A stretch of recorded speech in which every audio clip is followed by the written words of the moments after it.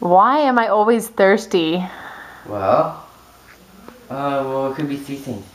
Either you always like the taste, you always, um, for some reason, your body keeps needing all that liquid, or, or it's very hot there and you need to keep yourself cool.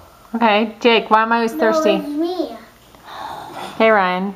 Well, maybe it's because like you like the like if like it's so delicious. You're like, oh my gosh, I just can't stand the taste. I can't stand the taste. And, uh, and, he, and he drinks a, ga- a gallon of orange juice. Oh. oh, and then he drink like 60 gallons of orange juice on this giant bottle.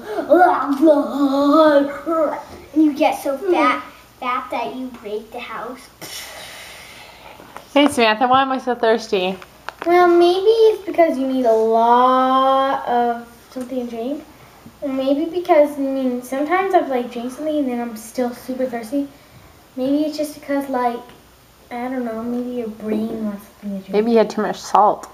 Or yeah, or something like that. That's something, like, it's like, um, something where, like, Maybe you drink like you drink something and Maybe or you eat something that makes it like, Oh. oh, I'm so thirsty. Like your body, like, I need something to drink. Maybe you like, go. or maybe Ah. uh, you I feel so accidentally, like if you live by beach and and you drink some water out on the beach. Like one time I was really thirsty and I just gulped it all up. Damn. Like you drink beach Ah. water, but then you're so thirsty. Yeah, but, um, yeah, the sea water makes you even thirstier, so you drink. Why would we even drink beach water? I don't know. You just Maybe keep on you drinking it. sleepwalk and you go outside at nighttime and drink some. Yeah. okay, thank you. Bye. Bye.